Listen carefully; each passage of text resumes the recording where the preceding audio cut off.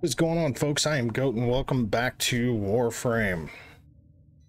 Let's talk about the Angels of Zariman.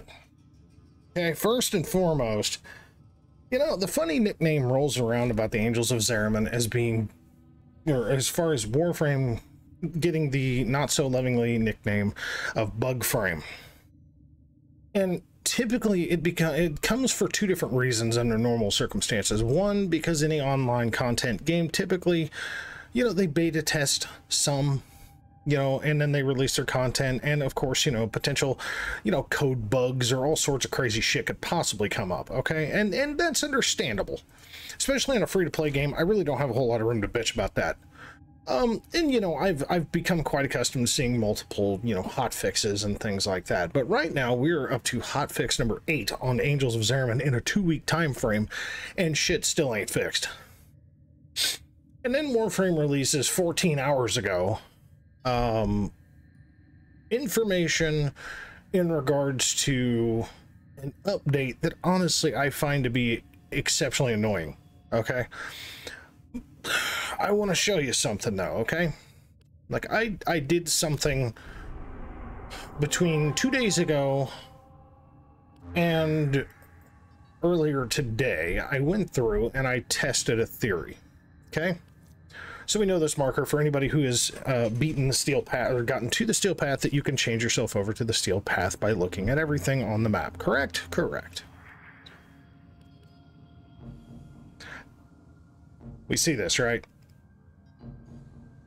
They're all flashing. I've completed them all.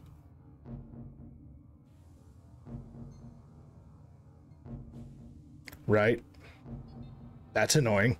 I've literally beaten all of them. I went to rotation C on all of them just because I did all missions twice. Technically, I've done the mobile defense and the exterminate three times, uh, but I've done them all twice just to be sure. Problem number one, find that highly annoying. Uh, problem number two is um, the fact that basically half the shit on the Zariman is still bugged. Um, Thrax still appear in walls, and um, unless you hold your tongue right, lift your right foot, and do the fucking hokey pokey, uh, sometimes you fail missions. Um, the elevator going into missions is still buggy as fuck. Um, sometimes there are random mission failed still popping up for absolutely no fucking reason. Um, these are all things that were supposed to be fixed. Plus, there was, you know, things along like I can show you every single hotfix that they've done with Angels of Zariman, which is update 31.5. Okay. And it's it's really fucking annoying. Honestly, it's really annoying to the point that like it kind of makes you want to, you know, get really fucking frustrated. So what we're going to do is we're going to look at the update history. Okay, that's that's first and foremost what we are going to do. We're going to look at the update history. Now this is directly from Warframe's page. Okay, nothing to be hidden here. This is all information of what's going on. So you can see the original release. Okay, which was you know, I mean, let's see here, 427. So I mean that was what um that's the wrong direction on months. So yeah, it was two fucking weeks ago, right? Yeah, two weeks ago to the day because I'm recording this at 11:46 p.m. on on the 11th of March or uh, the 11th of May. Um, so yeah, that's issue number one, right? For 27 to this point, two weeks, uh, technically 15 fucking days since this shit released, and they've already done eight goddamn hot fixes. Okay. Like we're seeing, you know, release one, two, all the way to eight, right? And like if you click each one, it tells you exactly what the fuck they did on each hotfix. Now, before I go too crazy about this and, and sound like I'm all of a sudden a Warframe hater, which I am not, frustrated, yes, hater, no.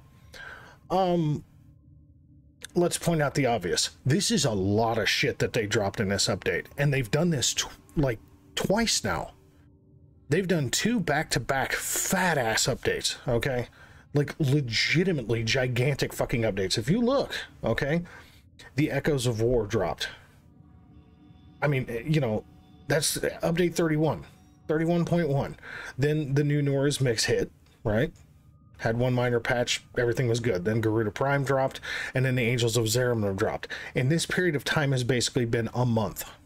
Okay, in a month's fucking time, this was a metric fuck ton of stuff, stuff that dropped. Okay, I mean a metric fuck ton of stuff. Like this is beyond a TennoCon's level of shit that they've dropped. Like I was talking about this being feeling like TennoCon of last year, right? They just dropped a fuck ton of stuff. They did this as a non-TennoCon update of four fucking updates. It's crazy. I mean, absolutely fucking crazy. They completely reworked the focus school, completely reworked operators, um, you know, and their their function instead of just having you know school based functions, now they have health and shields, and and they actually have two abilities.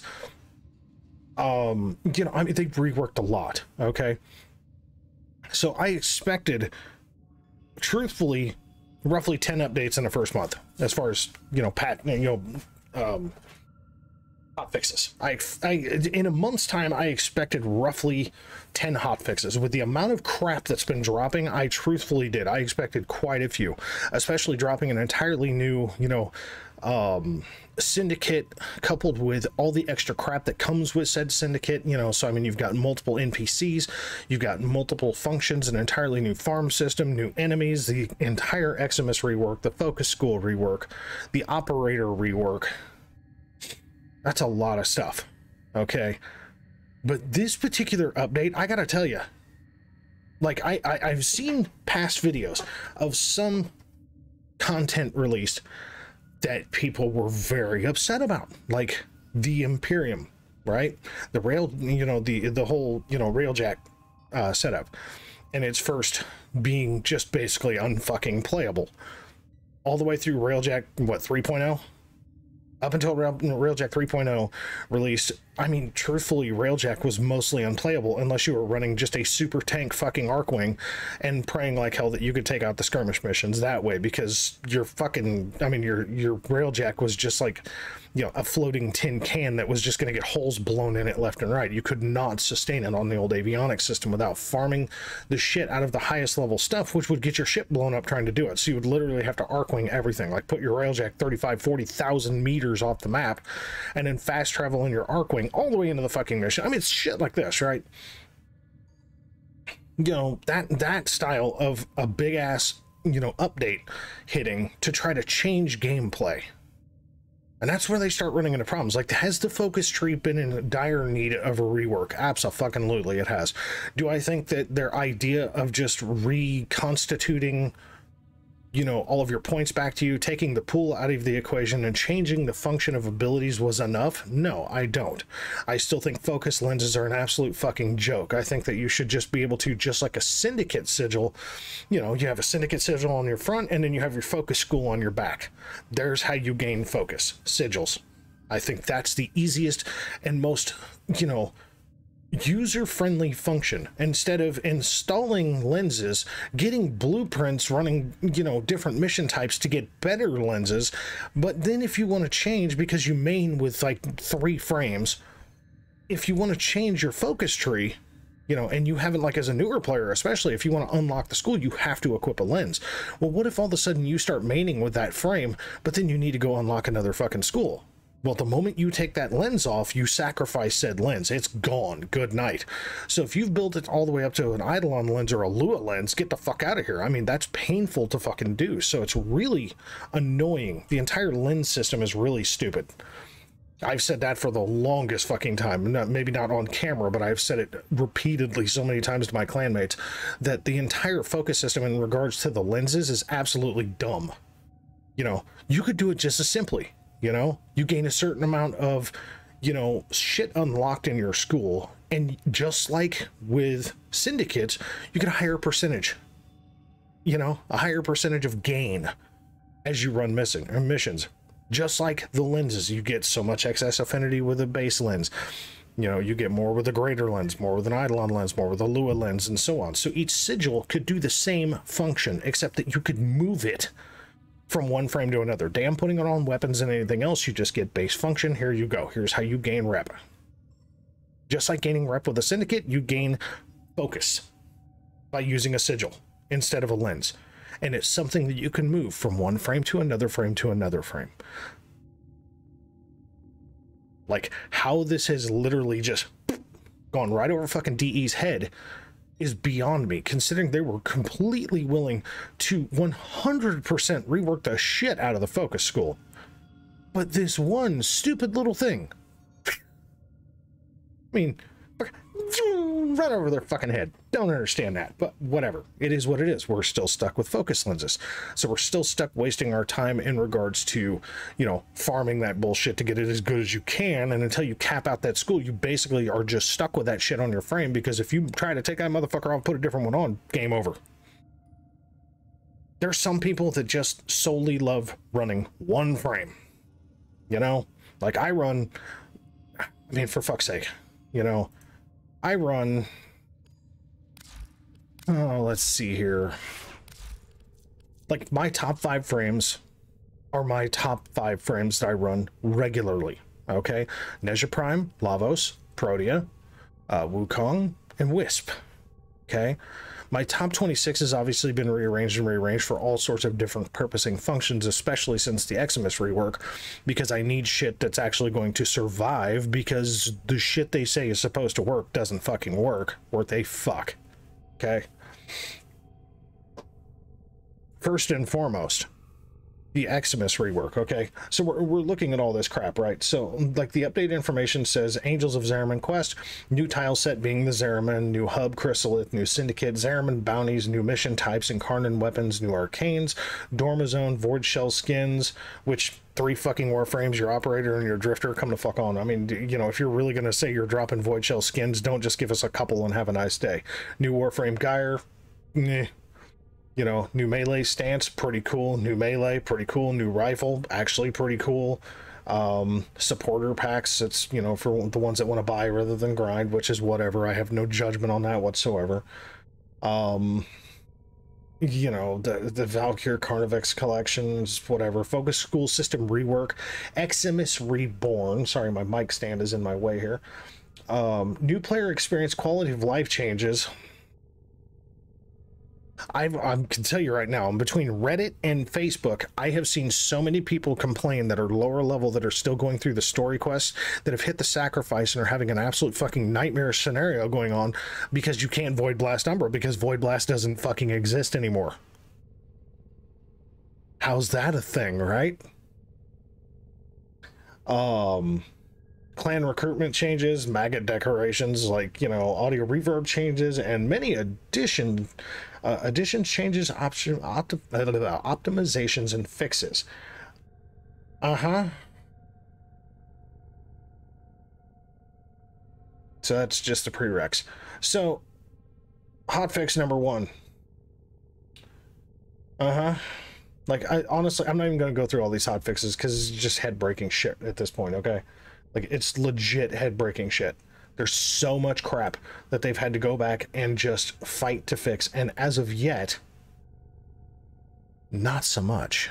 Now I know, granted, the hotfix here, number eight, is Zephyr, uh, Zephyr Prime and Chroma Prime Vault releasing, but there's also bugs they were fixing in that. So it is what it is. But then, 14 hours ago, uh, Rebecca, or Megan, I'm sorry, Megan posted this. And I mean to tell you, this is kind of fucking annoying. I'm I'm gonna be honest. I'm gonna read this bitch. I know y'all can see this shit, but I'm gonna read this. This is Hello Tenno. It's been almost two weeks, uh, two weeks since the launch of Angels of Zariman on all platforms. The team has deployed six plus hotfixes. Um, why not just put eight? Why not just put eight? And digested handfuls of feedback. Um, go to the forums. You're going to see more than handfuls. It's like a fucking biography. It's like the size of War and Peace trying to read that shit just on the Angels of Zariman. Um, and have digested handfuls of feedback threads, but what's next? While the individual hotfixes were needed to address crucial bugs, that's no bullshit. Mission failure as soon as you step off the elevator, um, no enemies around whatsoever to complete things. Um, you know, can't spawn the angels, dying for absolutely no fucking reason, all sorts of horseshit. Um, void slinging into walls and falling off the map, that was a fun one. Um, yeah, there's a, a few things. So while these individual hotfixes were needed to address crucial bugs, we have larger plans committed to addressing bigger feedback areas to our next major update, Angels of Zariman 1.1, final name pending. God, I fucking hope so, because if you just name it Angels of Zariman 1.1, that's going to look really fucking stupid. Uh, we would also like to apologize for the frustrations of these uh, bugs, uh, the frustrations many of these bugs cause for our community. Much has been taken into account for future releases. I fucking bet I've actually seen people say that they've quit this fucking game and uninstalled it because of all these bugs, because this has literally been one of the worst releases they've had so far. so that we can avoid the bumps that we saw during initial launch.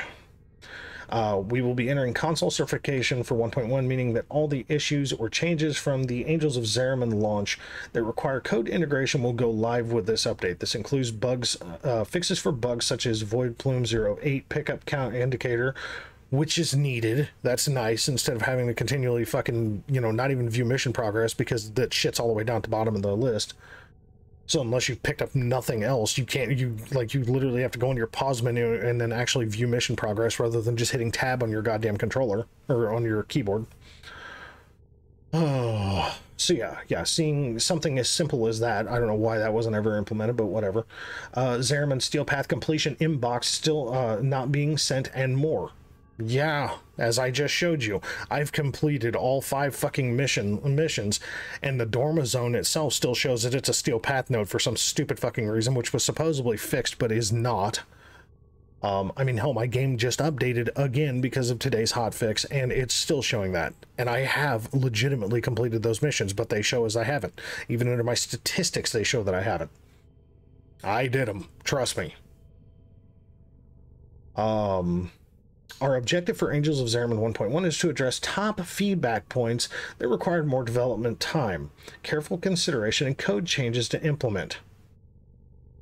Now, one would think that you would not fucking release content. Again, I'm not trying to be, you know, the fucking hater of content, uh, contentual, you know, releasing. But if your shit is fucked up, don't put it out to your community. I mean, for fuck's sake, you made people wait three goddamn years for the new war. You think you can't make us wait a couple of more months to make sure you fix the Angels of Zariman before you actually drop this shit? Like, yeah, everybody wanted to see where everything was going from the new war. Sure, I'll give you that. Without question, I will give you that. The whole Narmer situation, everybody's curious about that one. Very paradox. Everybody's very curious about that one, especially by what we see inside of the Zariman. There's a lot of Duviri-esque type stuff um, there's a lot of shit going on with the Angels of Zariman as far as the story of it that makes you question okay, are these people even from the same Zariman or is the eternalism argument real with this shit? What bugs me is that top feedback points. Who are they saying are the top feedback people? Because by the list of people I've seen complaining about the Focus School rework, the Eximus School rework, um, I said uh, the the the uh, sorry focus goal rework, Eximus rework, um, crowd control just basically being dead to all Eximus is absolutely it's way worse than it sounded. Like squish frames are just dying unless you are just weaponed out like a motherfucker. Um, yeah, squish frame builds are uh, squish frame CC builds are just in dire need right now. Like I get making the game more fun, I really do, and making it more of a tanky situation is okay. But the way that they put this shit to us, here's the thing that bugs me, okay? The way that they put this to us is that void energy would take would have a actionable function against the overguard shield, therefore making the Eximus harder to deal with. So therefore you have to do the operator and then your warframe. Not just go at the Eximus like we always have with big AoE weapons and just blow them clean the fuck off the map and, you know, Bob's your uncle have a nice fucking day. Guess what you still have to do? Fire one or two extra bullets like with the Bramma. Normally you could take out a level 105 to 125 fucking, you know, enemy on the steel path with like one or two shots. Worst case, if your aim sucked asshole, now it's like three or four. If you still have shitty aim, it's like two with good aim. Nothing's changed. Except for the fact that Void Energy seemingly does absolutely goddamn nothing against the Overguard that they said this was the way this was gonna work. Okay. So, in regards to Void Sling, we're experimenting with directional changes such as strafing, sideways mobility, and backward sling to allow more movement options. Strafe and backslings were tested during Void Sling development, but at that time, uh, but at the time, we felt that uh, having similar directional control to bullet jump was important.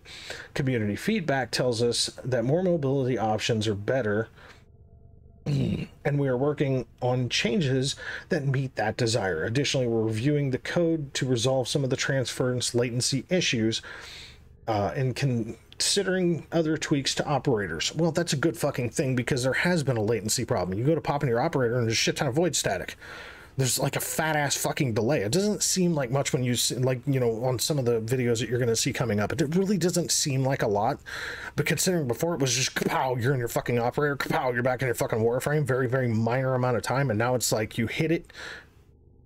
You actually like hit the buttons and then something fucking happens. So yeah, there is a bit of a fucking transference void static issue going on here that's causing a latency issue. But here's what bugs me they're talking about the Void Sling now having strafing and backwards. Why did we change it to Void Sling then? Aside from actually having distance control, okay, why did we change it to Void Sling to begin with? Because you could do all that shit before. You could go sideways, you could go backwards. You could do all this crazy shit with Void Dash. The only thing that changed with Void Sling was the fact that now you can't go backwards, you can't go fucking sideways, and you do have distance control. Instead of just being a blank amount of here, poof, you're over here. Okay, well now you actually can control your distance. So why not just have a, you know, like we had before with Void Dash, but with distance control? That, I, I would, like, why did we change this? I love the fact that operators have abilities. I love the fact that operators have shields. I love the fact that operators have more health. It makes them more survivable, especially against these new stupid Eximus. so yeah, so another issue, highly discussed, another highly discussed topic being reviewed is Overguard. We're currently experimenting and reviewing different options to address the varying islands of feedback. Yeah, that would be um, a way to put it, like continental level islands. Um, we understand that uh, that doesn't provide you with much to go off of, but please know that we're committed on making good on the feedback that we've been given. In past case of digital extremes, that is not something that you can believe in. This is more like the words of a politician at this point.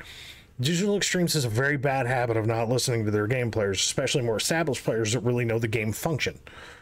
Now, again, I'm just, you know, I'm like two years, two months into this game, okay? I'm also at Legendary 2. I've also put in just shy of 2,000 hours in this fucking game. So I do know the game. I am I the best? Absolutely not. And I'm not even close to claiming to that. And I probably never will. There's always somebody better. I'm just goofy, right? That's just the way I play. I play goofy as fuck. I giggle and I have a good time because it's a game. But from what I've seen in the past, they they are not very good at listening to their their um their followers, their game players, you know, the, their established gameplay. And the problem is, is that by making this so goofy, this makes the new player aspect that much worse. Because honestly, I don't want this game to die. I enjoy playing this game. Hence why I'm shooting this fucking video. I thoroughly enjoy playing this game. Uh, without question, I love this game. But by making shit so ridiculously stupid and giving ass backwards information, before you even release the content then when it releases you literally go back to you know more in-game weaponry style. Operators are really non a non-factor against the fucking you know the overguard eximus. We're just literally doing the same thing. You just have to knock down an extra bit of shielding or armor to actually kill the fuckers. I love the way the eximus function with their abilities now. I will say that. I really do. But the overguard thing is the thing that's dumb. It doesn't work as planned. Um, additionally, we're giving reviewing possibilities for new operator arcanes. This is the part that pisses me the fuck off right here, okay? It's like this literally makes me kind of angry. I won't point out why, okay? Because, like, I love grinding in this game. There's lots of shit to grind in this game. It takes you a hot fucking minute to do it.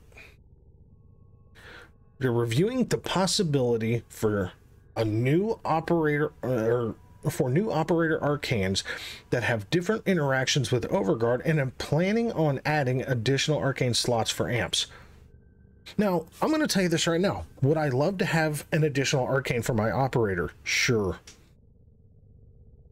The slot. You give me an additional slot, fuck the Eximus rework.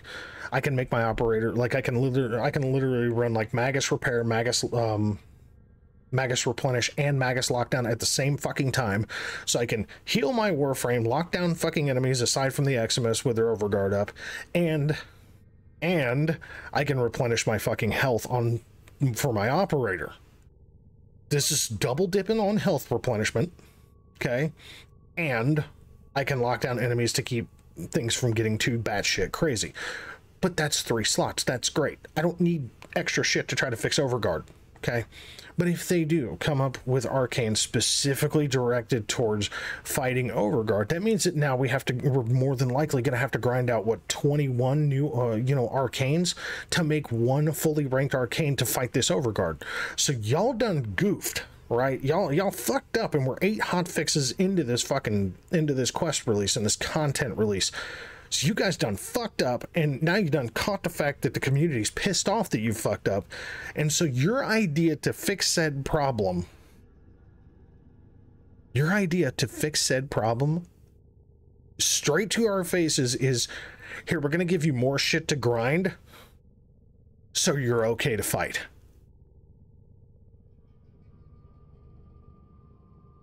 What? That's the dumbest fucking thing. That's like somebody hitting your car and then asking for money to you for you to fix their car, even though they did it. Y'all done fucked up, y'all fix it. Okay, like I'm not usually the kind of person to sit here and ask for free shit, but y'all done fucked this up so goddamn bad that now hey, we're going to open up a new slot. Sounds exciting, right? We're going to open up a new slot for the operator, or we're, we're looking into opening up a new slot for the operator, and, eh, you know, to fight against this overguard problem that we said was going to work that doesn't in any fucking way, really. And by the way, we're also thinking about opening up an extra slot for your amp. Cool. New arcanes. A rank 5 arcane, okay? Not a rank 3, Okay, rank 5. Rank 5 arcane is 21 arcanes. Their standing cap with any syndicate is typically, and that's if you can get them through a syndicate, and you know, like most of your operator shit usually comes through uh, or through Little Duck. Great. But your higher level stuff that's really actionable and functional against higher level stuff is 10,000 rep or 10,000 standings for one arcane. So that's 210,000 standings.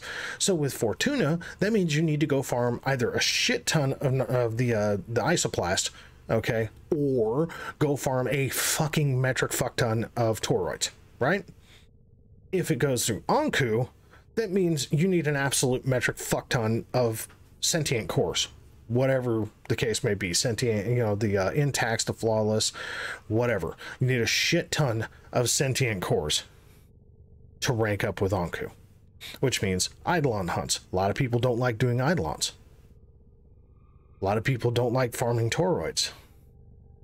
So you're literally making a fat ass grind for a shit ton of your community because you done goofed truth of the matter is is you, you de goofed so fucking bad with this thus far and they just keep sticking band-aids on it which are only fixing some of what they're saying they're fixing but then they're turning around and saying by the way you should kiss our butts because we're going to give you the opportunity to get this stuff. No no no see y'all done fucked up so goddamn bad and i've been playing through this glitchy ass shit for two fucking weeks now. Give me the fucking arcanes okay? Give everybody that has done the angels of zariman quest anybody who's actually done the quest to this point, okay, you can't tell me that they don't have access to completion of account, right? Yes, that takes work. Guess what? You fucked up. Do some work. You got people paying for shit all the fucking time. This is a billion dollar fucking industry, okay? Don't even fucking tell me that this game does not make money. I have seen, you know, Mastery 4 guys with Garuda Prime ranking it, okay? Don't tell me that motherfuckers don't make money in this game. If you are, you blind and lying. Go through the account histories of anybody who's completed Angels of Zariman up to the point of when they do this update and just give them the arcanes to fix your stupid. because that's what this is. This is a stupid mistake. And now you're going to punish us by making us farm at least a rank 3 mod for an, a potential rank 3 mod. So we're talking nine arcanes there, at usually somewhere between 2,000 to 5,000 or 2,000 to 10,000 standing per arcane there. Okay. And then 21 arcanes for the operator. So we're talking 30 arcanes. That's if there's only two new arcane releases. What if there's like five? This is ridiculous, okay? Am I going to keep playing the game? Absolutely I am. I like I said, I love this fucking game. But this is so stupid. This is this is dumb beyond fucking compare at this point. Like I'm I'm questioning who got drunk and said we're good to go to release this. Like literally who picked up the fucking bottle of Jack? Thought it was aged well and it's actually gone bad. Drank this shit that's so goddamn fermented that it just poisoned their liver and their brain and said, okay, we're good to release. Let's do this. Oh, hey, welcome to Bug Frame, hot fix number eight. And we're still not fixing the shit. But hey, we're just going to release an entirely new update we give you our word that it's fixed, but hey, there's more farm to do, even though we're the ones that fucked it up.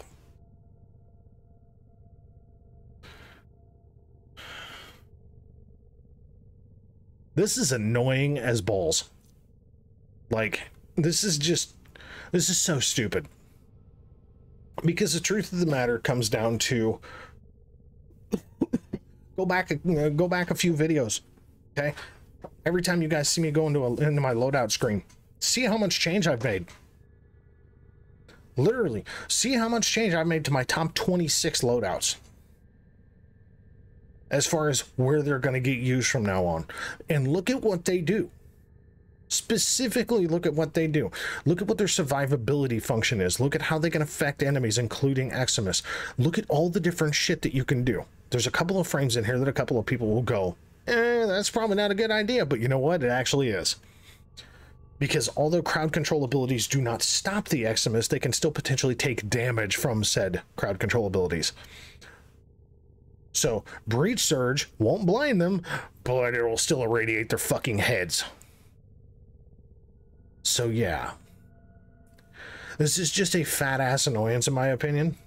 I think that if they're going to do this update, they really, truthfully need to remove lenses and put percentage based sigils in their place. Just my personal opinion. Um, they are talking about um, also, you know, they're planning on releasing uh, the two other incarnate weapons, which would be the daggers and the shotgun uh, that that were shown in DevStream 160, as well as some other goodies. So more enticing stuff. So Angels of Zariman is our 1.1 is our commitment to the community and addressing the feedback from the original Angels of Zariman launch. Our DevStream will speak. Uh, further on these changes, stay tuned. Well, first of all, we don't know when the next dev stream is. We don't know when this possibly is coming, so right now we're stuck with Bug Frame 101. Holy fucking shit. I'm simply going to say, God be with you in your venture, okay? Because this is where we're at right now. This is an annoying situation, and we must all truck through it the best we can, okay?